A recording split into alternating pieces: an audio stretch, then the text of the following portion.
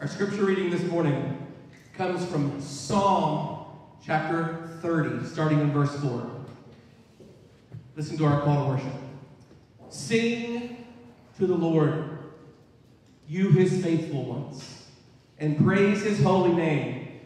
For his anger lasts only a moment, but his favor a lifetime. Weeping may stay overnight, but there is joy in the morning. This past month, we've been singing that this is the day that the Lord has made. And the same is true for today. This is the day the Lord has made. Let us rejoice and be glad in it. So I'm going to invite you to stand this morning, and we're going to sing together in 668 doxology. Let's sing this morning. Praise God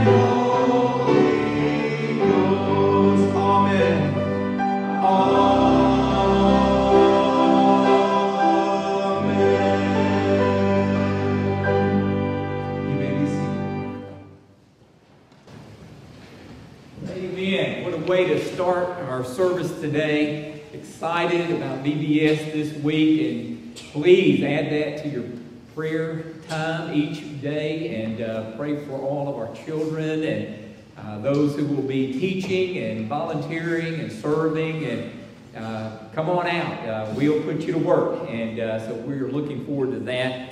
And, and so please, let's keep that a matter of prayer. Well, let me say welcome this morning. If you're visiting today, uh, we welcome you to our morning service. Uh, it's good to see you in the house of the Lord. And uh, welcome the church family. God bless you in your faithfulness to the Lord.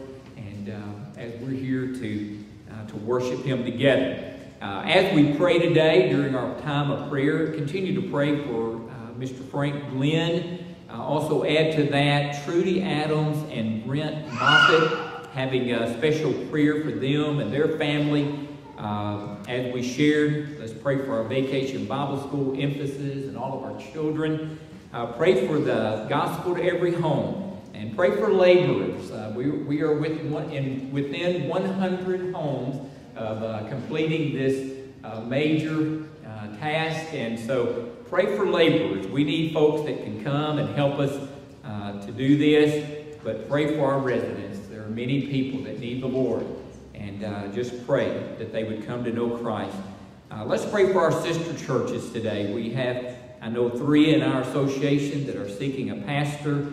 And so we want to pray for them today. Pray for our Southern Baptist Convention as meetings are beginning in a few days uh, in, in California. And then let's pray for our nation. So would you join me as we pause uh, to pray today? Yes.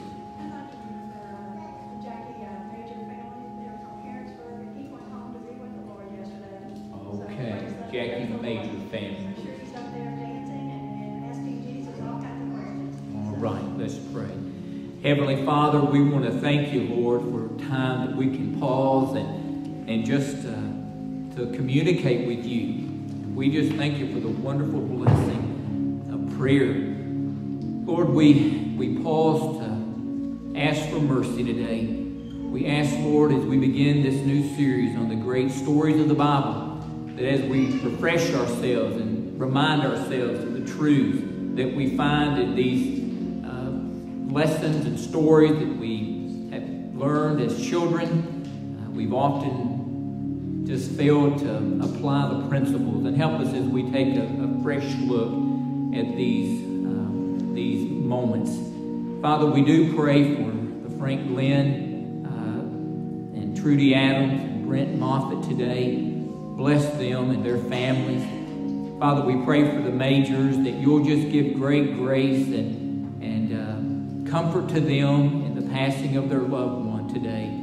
We pray, Father, for the gospel that has gone forth across our county. We pray for the lostness that exists here in Owen County.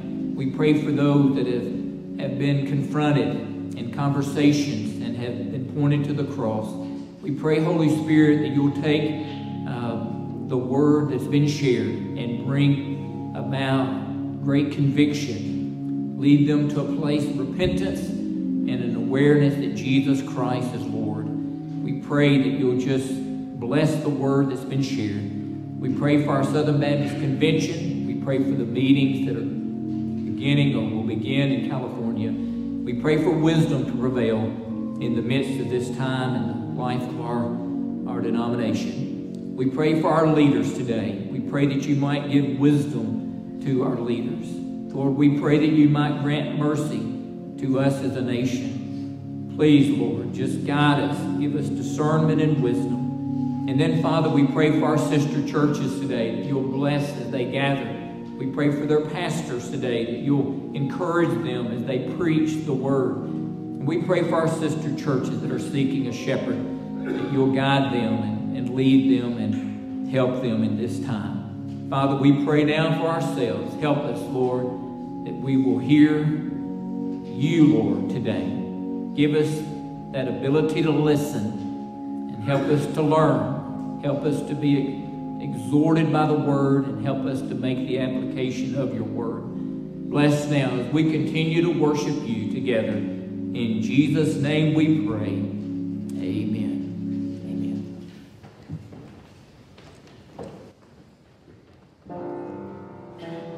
Invite you to stand once again. We're going to sing hymn 11, All Creatures of Our God and King. That's it.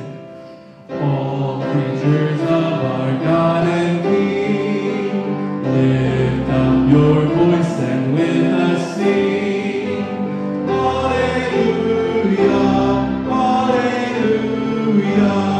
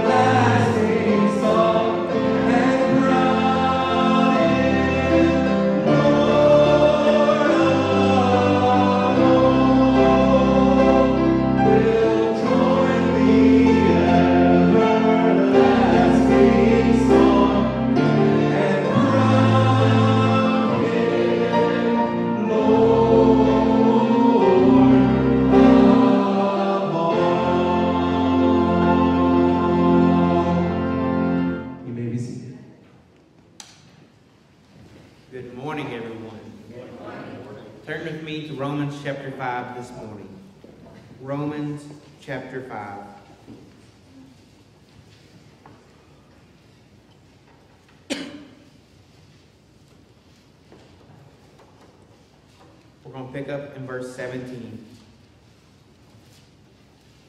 Paul, inspired by the Spirit, says this For if because of one man's trespass, Death reigned through that one man. Much more will those who receive the abundance of grace and the free gift of righteousness reign in life through the one man, Jesus Christ.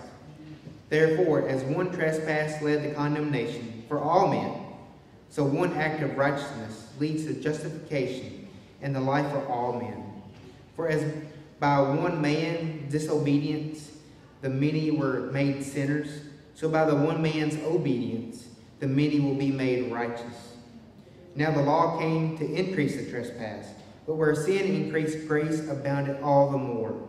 So that as sin reigned in death, grace also might reign through righteousness, leading to eternal life through Jesus Christ our Lord.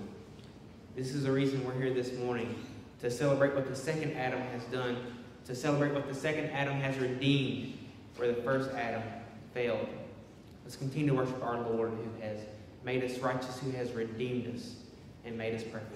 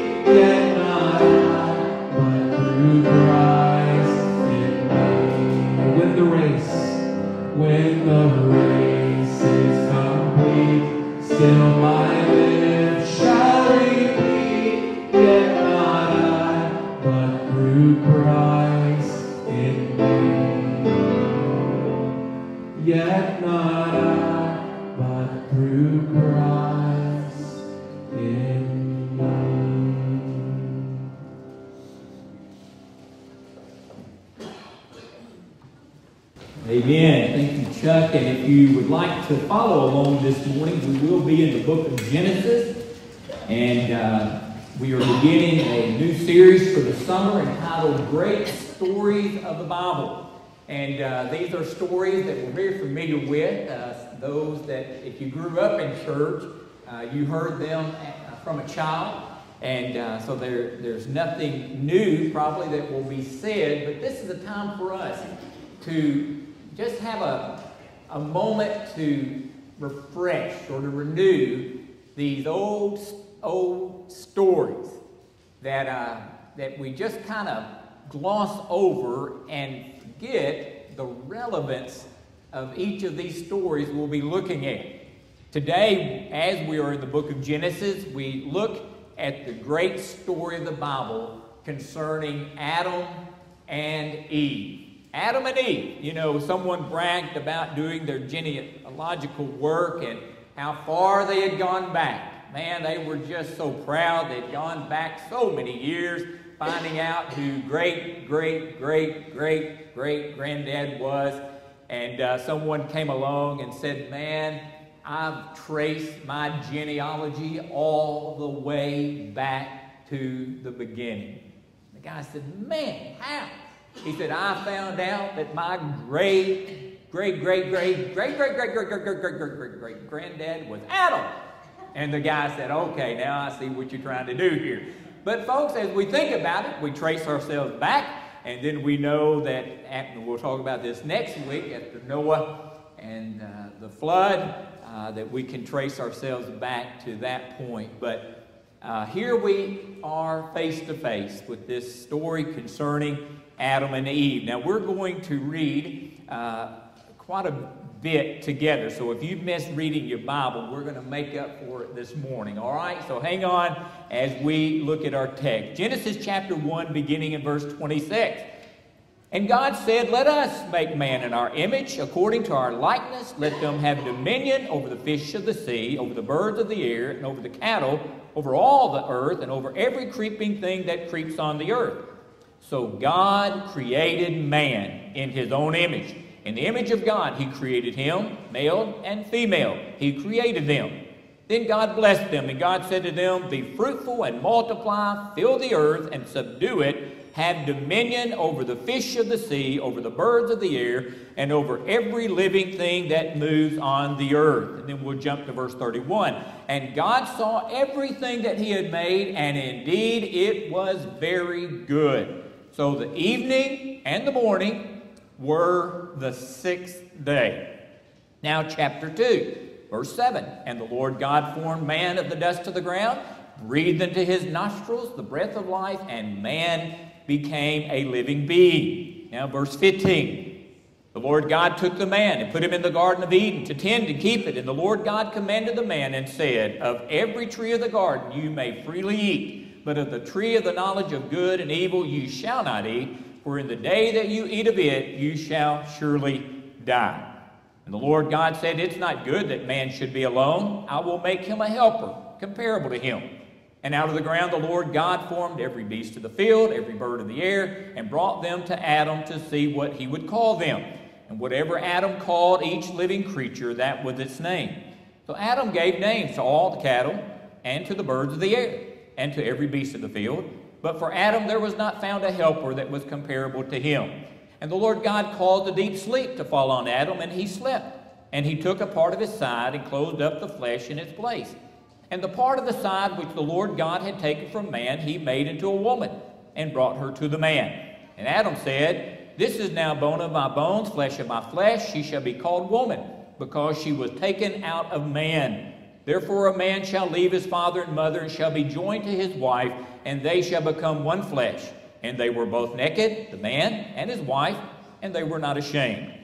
Now the serpent, chapter 3 was more cunning than any beast of the field which the Lord God had made. And he said to the woman, Has God indeed said, You shall not eat of every tree of the garden? And the woman said to the serpent, We may eat of the fruit of the trees of the garden, but of the tr- fruit of the tree which is in the midst of the garden, God has said, You shall not eat, nor shall you touch it. Now, God never said that, but you see the work that's going on, lest you die. And the serpent said to the woman, You shall not surely die. So now he's questioning what God said. In verse 5, For God knows that in the day you eat of it, your eyes will be open, and you will be like God, knowing good and evil. The devil says God's holding out on you. He doesn't want you to know the rest of the story. So the woman saw the tree was good for food, and it was pleasant to the eyes, and a tree desirable to make one wise. She took of its fruit, and she ate. And like any good wife, she gave to her husband. And what did he do? He ate. And then the eyes of them both were open, and they knew that they were naked, and they sewed fig leaves together and made themselves clothing. And then they heard the sound of the Lord walking in the garden in the cool of the day. And Adam and his wife hid themselves from the presence of the Lord God among the trees of the garden. And the Lord God called to Adam and said to him, Where are you? And he said, I heard your voice in the garden. I was afraid because I was naked and I hid myself. And he said, Who told you that you were naked? Have you eaten from the tree of which I commanded you that you should not eat? And the man said, The woman, the woman, we're playing the blame game now. The woman you gave to be with me, she gave me of the tree and I ate. And the Lord God said to the woman, What is this you have done? Well, the woman decided to join the blame game too. She said, The serpent, the serpent deceived me, and I ate. So the Lord God said to the serpent, Because you have done this, you are cursed more than all cattle, more than every beast of the field. On your belly you shall go, and you shall eat dust all the days of your life.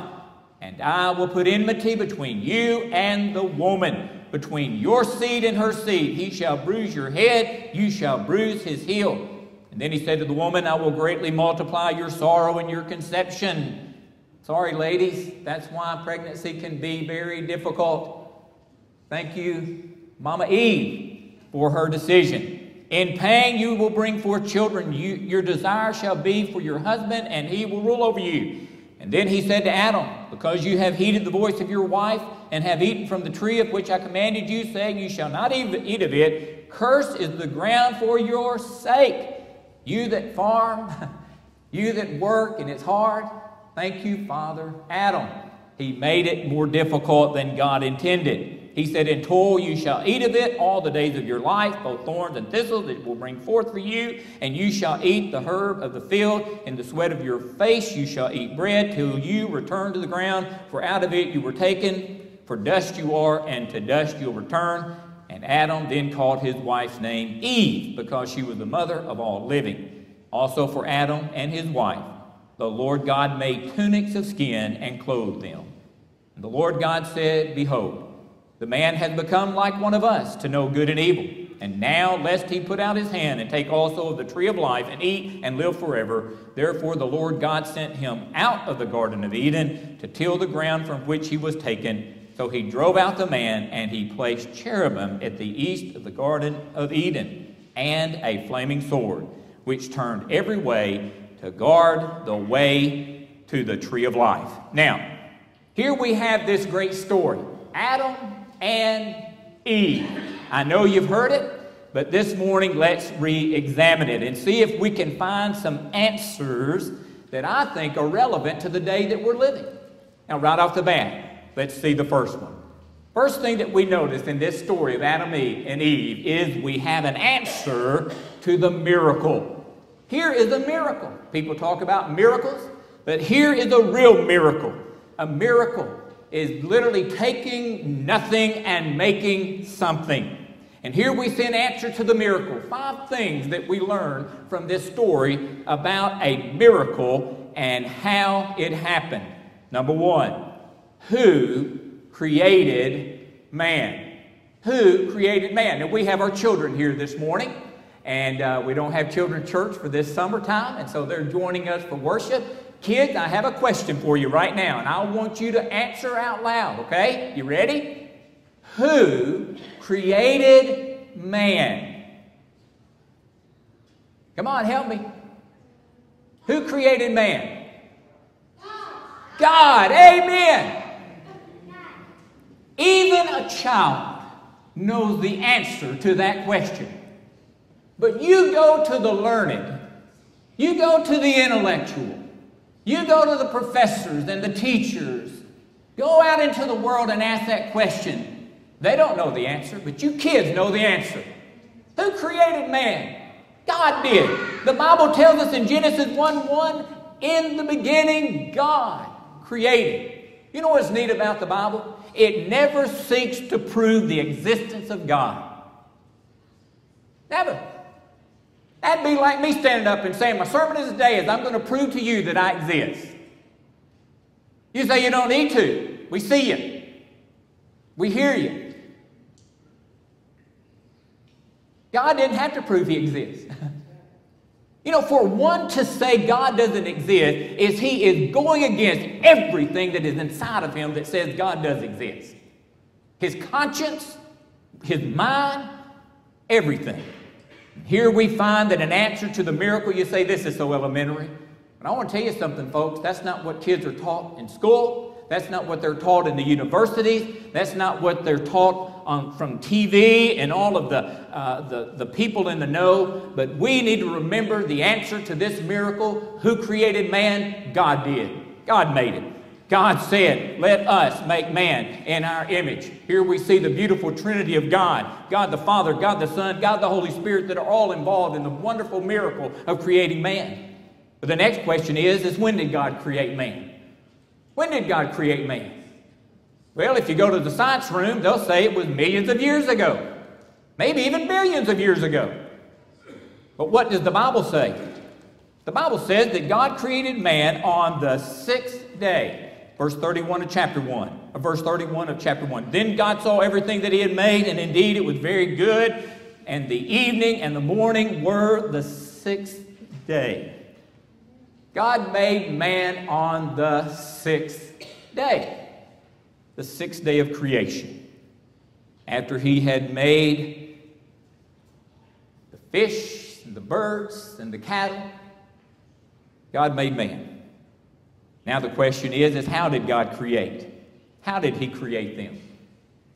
Well, men, I tell you what, this is pretty sad. But it says in chapter 2, verse 7, the Lord God formed man of the dirt of the ground. He took a pile of dirt and breathed life into it, and bam, there was man. There was man. Nothing really amazing about it. He just created man from the dirt of the ground, and he breathed life into him. But, ladies, ladies, he went a step further for you. It tells us that as Adam was given the job of naming the cattle, the birds,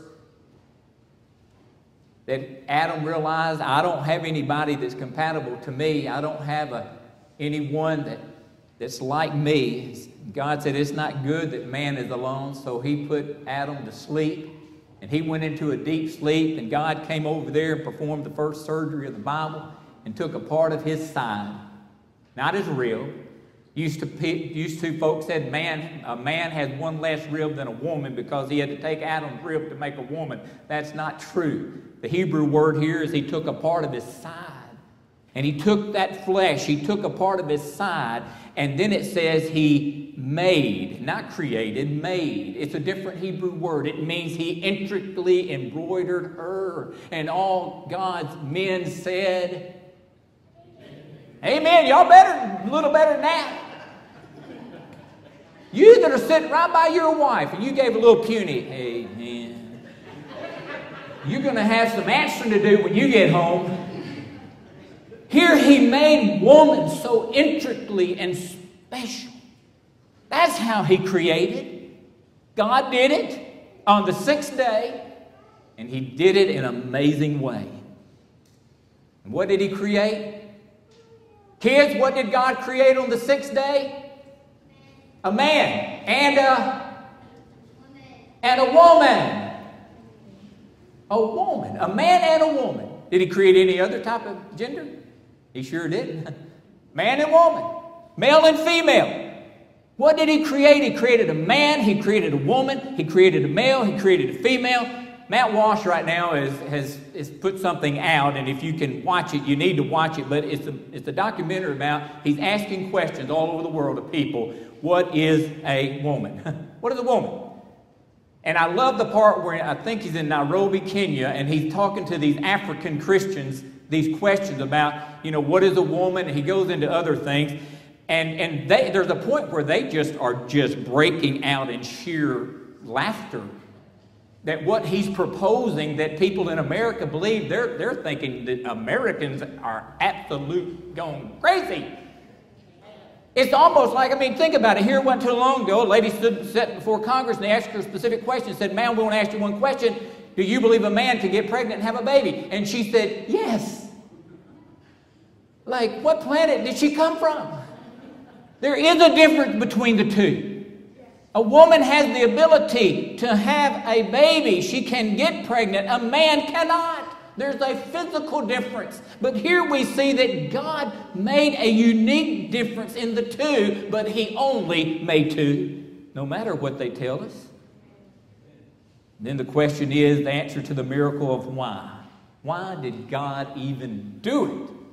Why did God create man and woman? Why did He create us?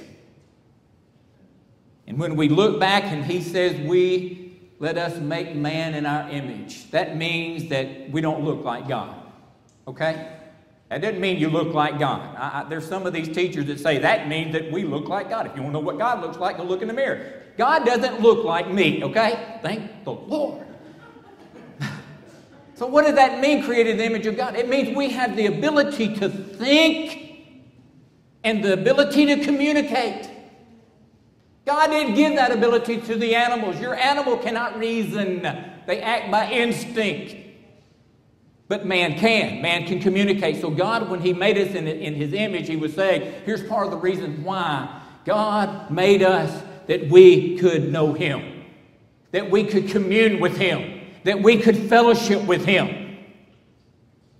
The old catechism that asked the question, What is the chief end of man? And the answer to glorify God and enjoy Him forever. We were created to glorify God and to enjoy Him forever. We can have a relationship with Him that the animals and the earth cannot have. That's why you're here. You're here to know God. You're here to fellowship with God. You're here to glorify God.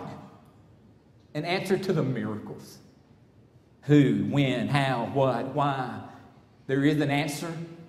The Bible gives us an answer. All of these things answered by the creation of Adam and Eve. An answer to the miracle. But then, number two, this story gives us an answer to the myth. The myth.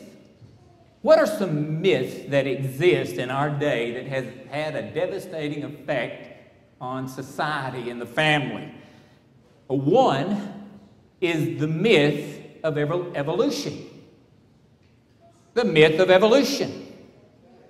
Most of us grew up and went to school, and you were taught evolution.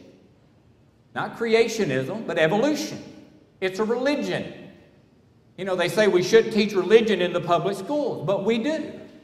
We teach the religion of evolution. It's a godless religion. Adam and Eve rebukes the idea of evolution. It rebukes it. What does it say? Well, it says number one, that God created us. The evolution say, no, you were just developed from some primordial goo that finally decided it was tired of being in the water and it made its way to land. And then it began to go through processes of evolving over millions and millions and millions and millions and millions and millions of years. And then, bam, here was this monkey that all of a sudden became a man. And the Bible tells us that it wasn't millions and billions, it was on the sixth day that man was made. He didn't go create a monkey and said, Monkey, come on, get with it. You got to progress. You got to progress. You got to progress. And bam. God didn't take evolution as his means to create man. Man was created specifically. And so here we see that the myth of evolution is debunked and rebuked by the story of Adam and Eve. Adrian Rogers said evolution is not science, it's science fiction. That's exactly right. You know, interesting thing, if you study the outline of when things were created, it's interesting that on day three, that, uh, that the birds, or, or, excuse me, day five, the birds and fish were created on the same day. That just blows the evolutionary scheme all to bits. Man was created on the same day as the beast. That blows the evolution theory out of the water. You know, the creeping things were created last. And the evolutionist teaching, they were created first. so that blows it out of the water. It blows it out of the water that man has somehow progressed when Adam was the most intelligent man besides Christ that ever walked on planet Earth. His brain was able to function at full capacity because he had no sin nature until they did sin. He was able to name the, all of the an, land animals and the birds, and he remembered what he named them after he saw them the second time. Now, you try that. You Got to try to learn every animal that exists and the names of that and try to remember what they look like the next time you see it. Adam did. He was a very brilliant, smart man. He wasn't some caveman walking around saying, Man, I just hope this evolutionary process will come on and kick in because with the next children that come along, I hope they can better from what I have been. You say, why is evolution so emphasized? Because it is clearly against the teaching of Scripture. Why is it so pushed? What is the purpose behind it?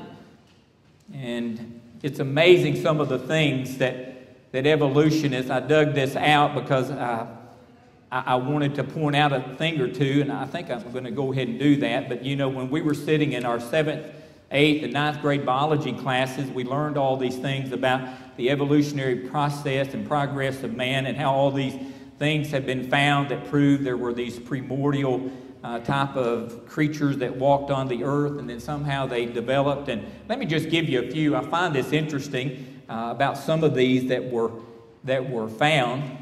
Uh, back in 1924, and I'll misspell these names, Australopithecus was found by Richard Leakey, son of a famous evolutionist. And he published that this half man, half monkey uh, that they were saying was evolving, later he finally admitted it was really just a monkey. It had long arms, sharp legs, a knuckle walker, and was just similar to an African ape. The Peking man that was found in China in 1920s was basically built from fragments of skull, jaws, and teeth. And they somehow made him into this, this man that showed evolutionary process. The Java man was built by a large leg bone, a skull cap, and three molar teeth. Uh, put together by Dr. DeWay.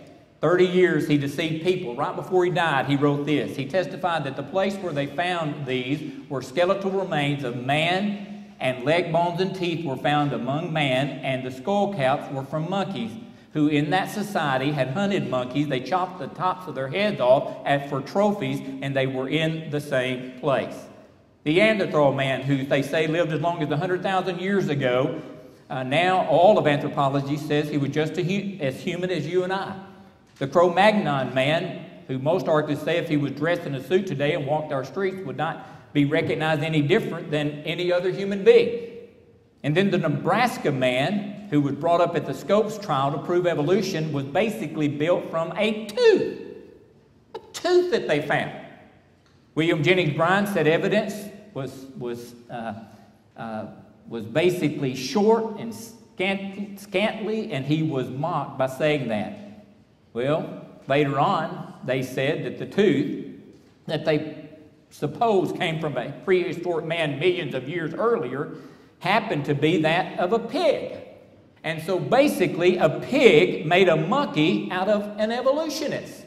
Then Charles Darwin, in his 1912 Piltdown Man, was built from a piece of a jaw, jaw, two molar teeth, a piece of a skull, and was claimed to be a half a million years old. Well, 40 years later, they exposed the hoax. It was the jawbone of a modern ape. Ape, his teeth had been filed down, and his bones were artificially colored to deceive the public. On and on we could go. We see that evolutionary teaching is a fraud and there is a reason. Why do they why do they promote it? Well, basically scientists promote it not because they believe that it's due to science that backs it up. They promote it because of their sin. You see why man wants to believe in evolution? Is because they don't want to believe there is a creator God. We have a sin nature. We recognize that if God made us, we will give an account to God one day. If we believe in evolution, there is no God, and therefore we are just basically the same as an animal. We just act like brute beasts. We just live by instinct. Don't ever say that humans are another species of the animal race. We're not. We have dominion over the animals, we have dominion over the earth. If the earth can be used to our benefit, man has dominion over that. If animals can be used to our benefit, man has dominion over that. That's why we eat animals. That's why we eat animals. Now, I know we all love our pets. I told folks one Wednesday night, I said, the best job to be in today is to be a vet. Because people will spend hundreds and hundreds and thousands of dollars to keep that little pet going. We've become a society that has become animal crazed. We have put animals above man. God put man above animals. We need to recognize that, but we recognize that the reason they promote that is it's a denial of God, it's a denial of the sacred nature of your being as a human being, it's a denial of the Word of God, it's a promotion of immorality. It just says that man is no better than the beast and he's basically a beast, and that's why a lot of kids and a lot of college students commit suicide because evolution has been ingrained in their mind for so long that they come to the place of realizing there's no creator God, they have no purpose in living I'm just evolving, and therefore I have no reason to live. But Adam and Eve remind us that evolution is a myth. And then, number two, what's the second one? The age of earth, earth age. Adam and Eve teach us that we have a young earth. Now, what do the evolutionists teach? They teach earth is billions of years old. You go to any science emphasis, you go to any museum, you go wander into a cave and they take you down, they talk about the millions of years that have elapsed. But the Bible tells us that man was made on what day? The sixth day. These weren't long extended days. Interesting thing in the Hebrew, the Hebrew word for day is a word that can be that can mean a long extended period of time, but every time a number is connected with the word, it always refers to a 24 hour period. And not only does God make it clear it's 24 hours, He not only puts a number by the word day, but He also adds the words evening and the morning. So here we find that earth is young and not old. It takes millions and billions of years for the evolutionists to be able to push their hoax because they realize it takes that long to get man so far back that we have no way of being able to examine the evidence. So each day, 24 hours, evening and morning, and then on top of that, what did Jesus say? We're not going to go there, but in John chapter 5, verse 45 through 47, as he confronts the crowd, he basically says to them that all that Moses wrote was written by Moses. Jesus is confirming and affirming that Moses was the writer of the first five books of the Bible. He puts his stamp upon that. He speaks of Moses in a way that Moses was the writer, that he had authority. Jesus is saying, I agree with Moses. I believe what Moses wrote. Well, guess what Moses wrote in Exodus chapter 20, verse 11? He said that God made all things in six days. So, what is the reason why this, this promotion of the earth being so much older than it is? I'll tell you why. It's an attack on the very person of Christ. It seeks to say that Jesus was deceived, that the Bible has error, that Moses was wrong, and if Moses was wrong, then Jesus was deceived, and so Jesus is wrong, and therefore they bring down his authority and they question the very word of God that it is inerrant. So the story of Adam and Eve answers the myth of earth being millions and millions of years old. And you may say, yeah, but how do you explain the appearance of age of things. Let me tell you something. If God can make a man from dirt and make him be mature and old, then he can create anything else he wants to to give it the appearance of age. You see, I don't believe it had to take God six days to do all that he did. He could have done it all in six seconds if he wanted to. So here we have the myth of earth age answered. Then in closing, we have an answer to a great mystery. An answer to the mysteries. What have we learned here? We've read much today, we've learned something about the mysteries and an answer. Number one. Number one, we learn an answer for the reason of sin. The reason of sin. Why does evil exist? Why is there wickedness in the world? Why is man so cruel and, and vengeful?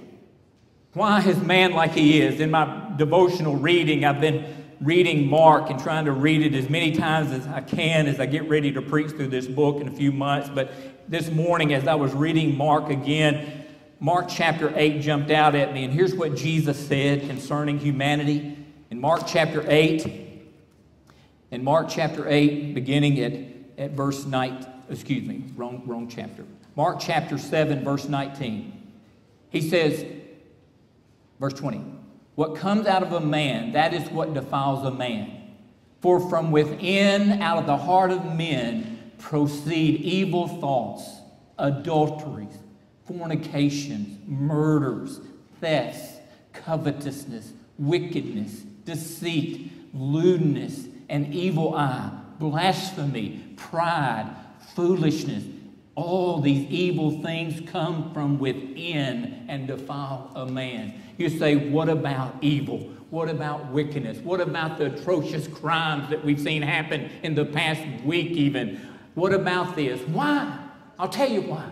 Man is sinful. Man has a sin nature. Adam and Eve give the answer to why man is evil, why wickedness exists. The heart of the problem, as one said, is the problem of the heart. It's the nature of the flesh. It's the nature of man. You see, Father Adam and Mother Eve did something that affected every one of us. When they chose to rebel against God, they went against His will. And they listened to the devices and temptations of the devil. And when they took of that fruit that God said, do not eat, why did God put that there? Because they had a choice, they had a will. He was not going to make them love Him, He was not going to coerce them to love Him. He wanted them to choose to love Him. And they chose to rebel against Him. And they died. He said, You will die. They surely died. They did die. They didn't die physically, they died spiritually. It was an internal work. You know, thinking about the devil, this, this will be free, and I know we're going to run over time. Isn't it interesting? What, what is this month in America right now? Anybody want to answer? What's it called? Pride Month. United States of America. We are rejoicing and lauding and applauding homosexuality and every other immoral activity. Isn't it interesting they took the word pride to describe their month? I like what one man said. he said, it's interesting that it was pride that turned a holy angel into the devil. It was pride that caused holy angels to become demons. And that's the word they chose to use pride. Month. Turning what God created into something evil. Pride. The reason for sin and the reason evil exists is the fact that in that rebellion of the first Adam, it impacted all of us. We see that in the second answer to a mystery, and that is the response of sinners. The mystery of how sinners respond. How did they respond when they had sinned? Well, they were immediately aware of what? Their nakedness. You say, why, why did they get all shook up all of a sudden? Because they were naked the whole time. You know what happened? It wasn't that they didn't see that they were naked. And some people tried to say, oh, they had a holy glow over them and, and they didn't notice that they weren't wearing clothes. That's not what it was. There was such purity of mind that as they saw each other, there wasn't thoughts of evil and wicked. It was good, it was holy.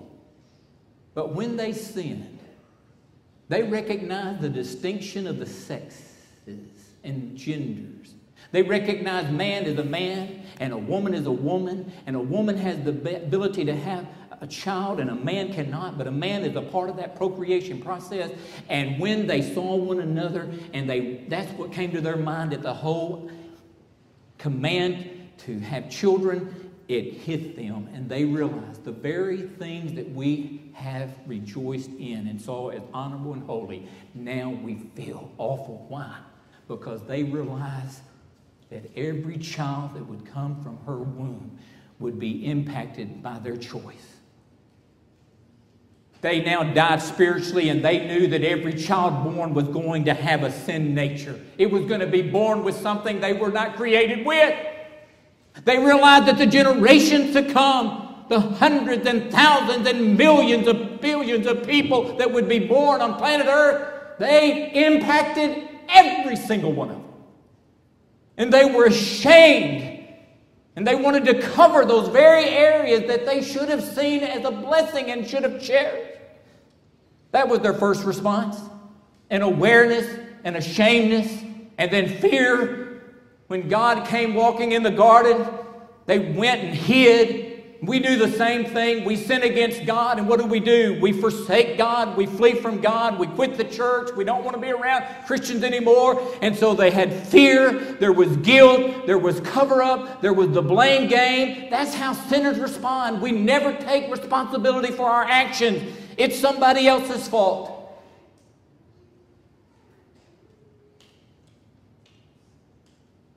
The response of sinners is the same today. And then, thirdly, we see the revelation of a Savior. This is the good news. We've seen the bad news. But verse 15 of chapter 3, God gives them a merciful promise. Why didn't God just say, I'm done? You know, this, this didn't work. He could have just wiped them out. There had never been a human race.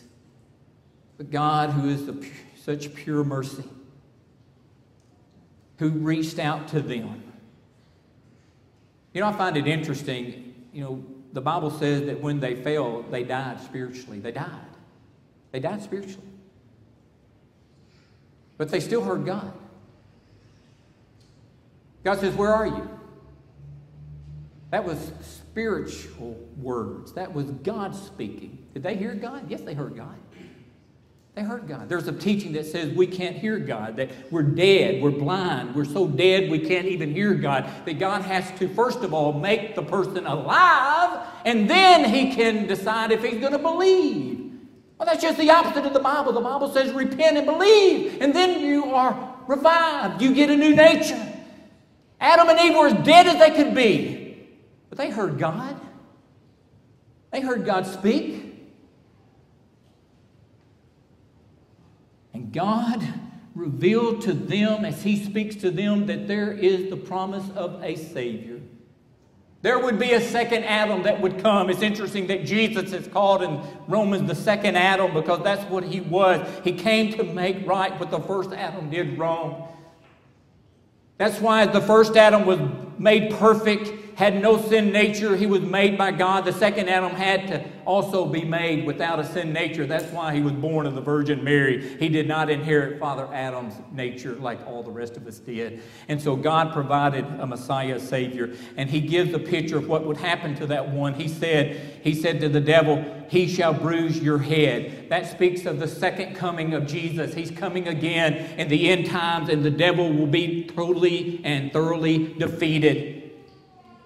But he also came the first time. He said, He, you shall bruise his heel. This speaks of his crucifixion. He was saying to Adam and Eve, the one who's coming that will resolve the sin problem will be a Savior who's going to come in ultimate power, who's going to come and make all things right. He's going to create a new heaven and a new earth. He's going to set up his own kingdom and he will reign supremely. But before he comes to do that, he's going to come and die. He's going to come and give his life. He's going to come and be the sacrifice for your sin. And God made it even clear when he went and took a lamb from the flock and killed that lamb. And that lamb's blood had to be shed. And God took the coat of that lamb and made a tunic of skin for them to put upon them. He clothed them in the, in the, in the skin of a innocent lamb who had to give his life to clothe them. And he was saying to them, There's coming a Lamb of God who will shed his blood for your sin and the sins of all humanity. And his righteousness will enwrap those who will make that choice, who will say yes, who will hear me speak, and will hear me say, Come. And that shows us, number four, the reach of salvation. The reach of salvation is ultimately the mercy of God that reaches down and offers us the free gift of eternal life and forgiveness of sin. And that's why the Bible says, Whosoever will may come. Today, will you? Will you come today? Will you let the old, old story of Adam and Eve that answers many of the mysteries, that answers the myths, that we often face in life, will you today let the story of Adam and Eve be more than just a great story that we learn about the first created, and you'll recognize the rest of the story. The story of hope, the story of salvation. If you've never been saved, if you've never yielded your life to Christ, recognize that you inherited the, a nature that will separate you from God forever and ever if you die with only that nature. And that there is hope of gaining a new nature, the nature that was lost by Adam and Eve. The nature that comes when you say, God, I'm a sinner. I admit it. I agree that Jesus, who was promised 6,000 years ago to Adam and Eve. He did come the first time, and I know He's coming the second time, but I believe He is the Savior, the Son of God, and I yield my life to the Lamb of God.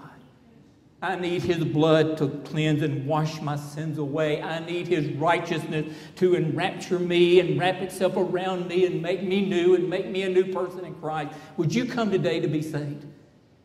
Christian, how about you? So high a price that He has paid? Do you live as though it really made a difference? Do we live our lives in honor of Him? Do we live for the purpose of His glory? Do we enjoy Him forever? Today, you might need to come and say, Oh, I need to rededicate my life to Christ. I need to get serious about my faith. It's time. It's time. It's time for this altar to start being filled. Man, we want to get up and talk about the evil in the world. We recognize the evil and wickedness where it originated. But, folks, they're not going to change. They don't have the power. But we do. We can change. We've gotten backslidden. We're carnal. We're, we're lethargic. We don't pray. We don't read the word. We don't share the faith. We just barely even worship much anymore.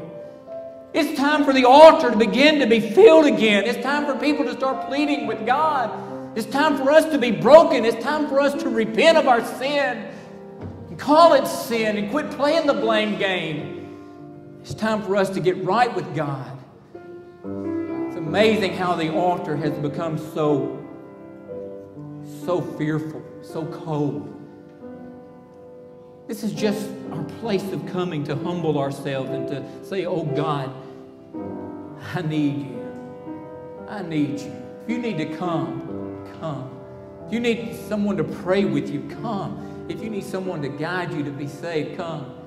If you have a decision you need to make public today, you just need to come and act, confess. Just come and say, I just need the church family to pray for. This invitation is, is for you. It's for us. As we stand, as we sing, be sensitive to the Holy Spirit and obey Him and do what He's been knocking on your door to do. Come as the Holy Spirit leads.